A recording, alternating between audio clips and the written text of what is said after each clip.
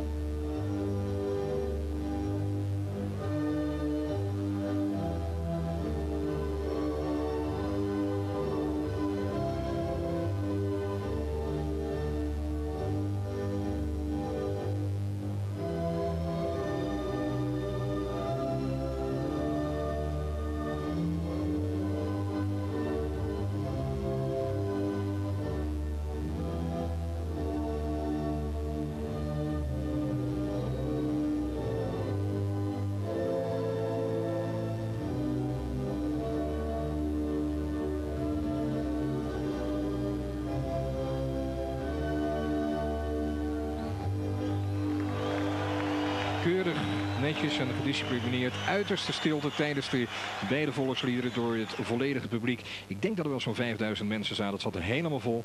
En ja, het was een fantastische dag eigenlijk. Niets gebeurd, geen enkele wanklank. We gaan nu beginnen met Interland. De absolute grote toppers uit Japan. En dan moet ik u er eerlijkheidshalve bij vertellen dat de Japanners zijn allemaal profighters. Doen de hele dag niks anders dan trainen, trainen. Terwijl de Hollanders daarnaast toch nog een, eh, een beroep uitoefenen. Willy Peters. En dat is meteen een van de regels weer. Die wil wel met de vuisten naar het hoofd stoten. Dat mag bij free fight. Maar dan moeten er wel handschoenen aangetrokken worden. Dat is de keuze van Willy Peters. En dat werkt natuurlijk weer in het nadeel bij de worsteltechnieken. Ook een hele belangrijke regel. Zijn tegenstander een erg sterke Japanner, Masayuki Naruse. Naruse links in beeld, dat mag duidelijk zijn. 21 jaar, uit Tokio, 1,73 lang en 97 kilogram zwaar.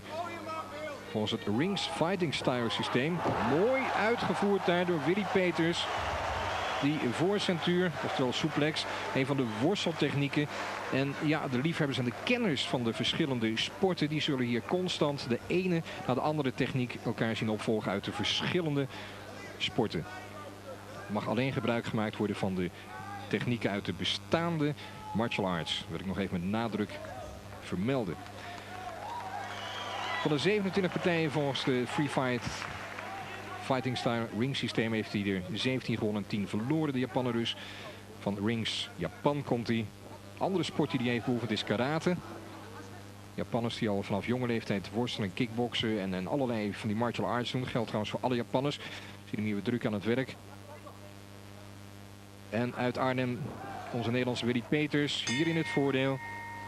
Einde van de eerste ronde. Want bij de Interland, dat is ook een van de regels, zijn alle free fights afgesloten op vijf ronden van drie minuten. En we gaan hier de tweede ronde dan in.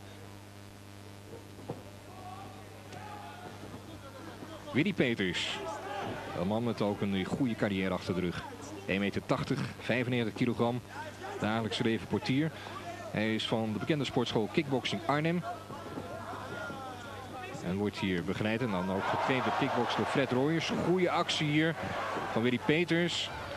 Ewout Haanscha zagen we ook nog in zijn hoek. En dit is trouwens geen rope escape. Hij komt er met zijn benen bij toeval op het rode touw terecht.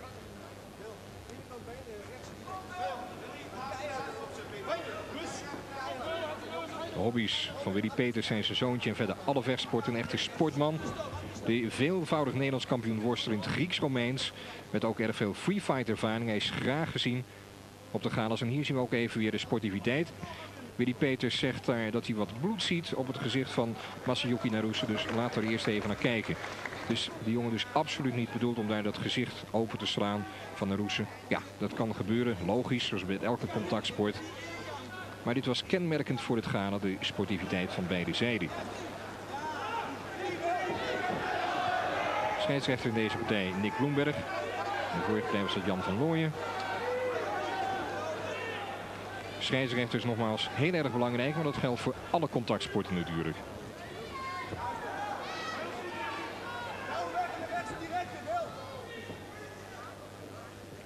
Constant die overpakkingen. Opstoot, netjes, weer doorgeplaatst door Willy Peters. Maar nogmaals, bij deze sport, bij het free fight, geldt, die punt, dat dus niet als punt wanneer je doorkomt. Wat wel bij het boksen het geval is. Hier de aanval. Kennen we uit het uh, vrije stijl worstelen naar de benen. Mag niet bij het Grieks-Romeins, wel weer bij de vrije stijl. En het grondwerk. En daar is ook Willy Peters goed in. Een goede allround vechter deze man. Maar dat moet ook wel weer niet opnemen tegen grote namen als deze Masayuki Naruse.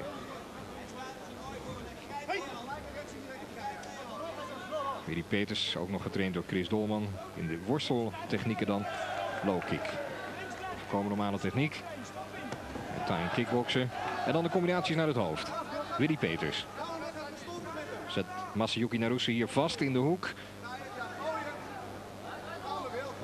En dan weer die mooie techniek van Willy Peters. Die voor centuur, oftewel suplex, uit het worstelen. En daar herken je nou weer de worstelachtergrond uit van deze veelvoudig Nederlands kampioen Grieks-Romeins worsteler Willy Peters. Die zich tegenwoordig ontwikkeld heeft tot een goede allround vechter. Probeert hier min of meer een uh, opgave door verwurging. Scheidsrechter vindt dat het te lang duurt, haalt hem ervan af. Dat is dus nogmaals belangrijk, want anders zou het wel straatvechten worden. En dan gaat ook de gong alweer die het einde aangeeft van deze tweede ronde. We gaan hier ronde 3 in. Willy Peters, wat heeft hij nog meer in petto? Spinning back kick, kwam niet door. En daarna zie je nogmaals dat het een goede allround vechter is. Spinning back kick, die we kennen uit thai-boksen. Dat overpakken weer van Willy Peters. En netjes. Die suplex. Zeer bekwaam vechter, ik kan niet anders zeggen. En hier pakt hij dat onderste ringtouw weet. En nogmaals, dat is een extra veiligheid die is ingebouwd bij deze sport. Een escape mogelijkheid. Maar je krijgt dan dus één punt tegen. De Japaner nu dus met winst. Mooie dinker. Goed uitgedeeld. Willy Peters.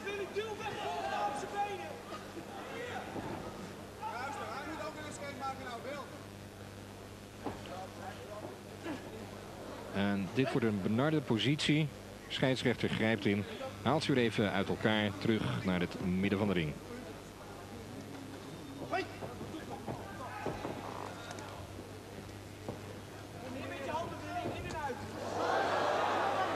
Open handtechnieken van de Japanner. Die mag dus absoluut... Oh! Probeer de spinning backfist lukte niet. En krijgt hier terecht een waarschuwing van Nick Bloemberg. En nogmaals, u ziet dat de regels goed worden nageleefd. Want het was bijna een elleboog die hij daar gebruikt. En elleboogstoten mogen dus niet naar het hoofd worden uitgedeeld. Mag wel bij Thai-boxpartijen in Thailand. Maar niet in Nederland bij een free fight in de ring. En je ziet hoe hij dat netjes pareert. Snel met die benen naar achter maakt zich breed. En zorgt hij dat hij achter de man komt. Pareerde net die aanval van Masayuki Naruso. Na zijn benen Willy Peters. En hier achter de man. Bij het worstelen erg belangrijk. Maar bij deze sport is het nog moeilijker dan bij het huidige worstelen. Om een tegenstander te verslaan.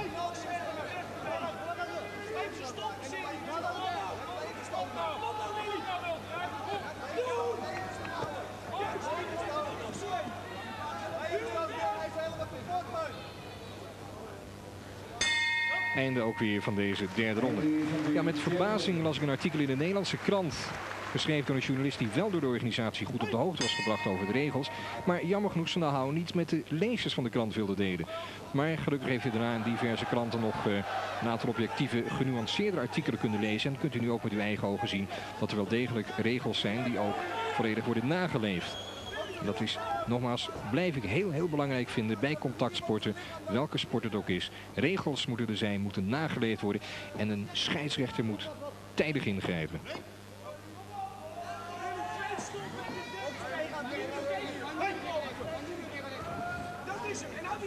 Opent weer de aanval met zijn linkse directe.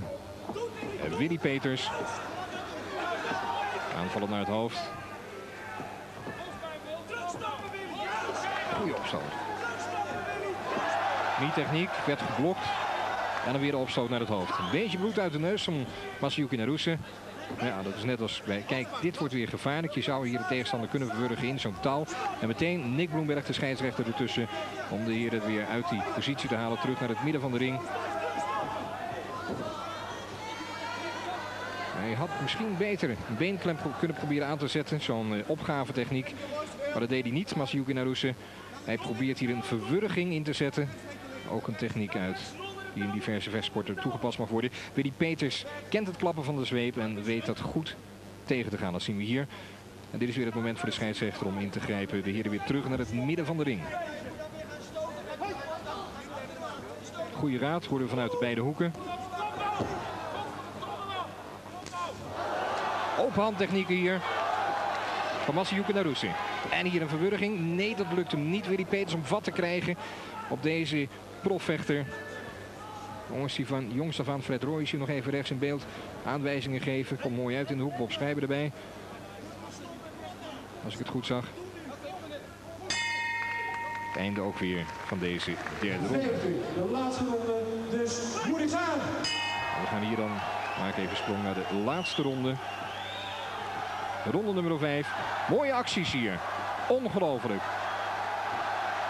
Gaat er vol voor. Willy Peters. Absoluut van plan om zijn achterstand hierin te halen. En als het kan nog even te verbeteren natuurlijk.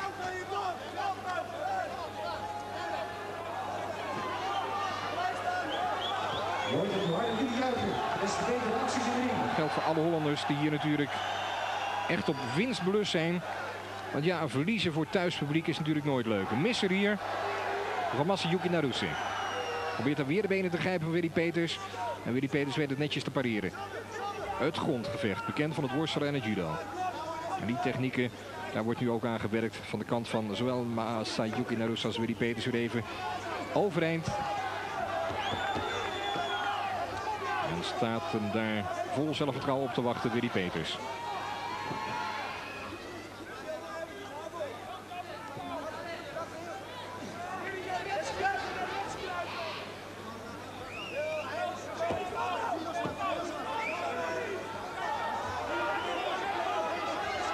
Masayuki Naruse neemt er de tijd voor. Hij weet dat snel overeind springen nou helemaal niet goed voor je is.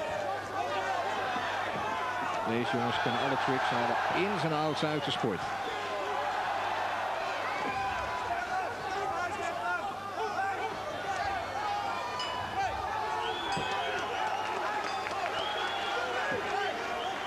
Aangeteld een down hier voor de Japanner. En het down geldt voor twee rope escapes.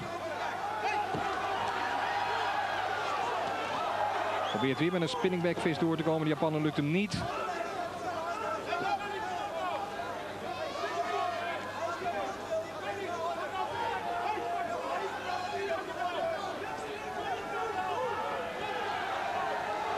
En zo nadert de partij zijn einde. En ook Masayuki Naruse.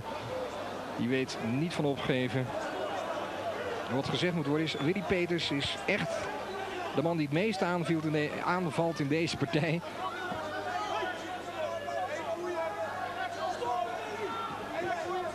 Hij is degene die de partij in de gang houdt over het algemeen. De Japaner een tikkeltje eenzijdig, Masayuki Naruse. Weer constant die vrije stijltechnieken door te komen.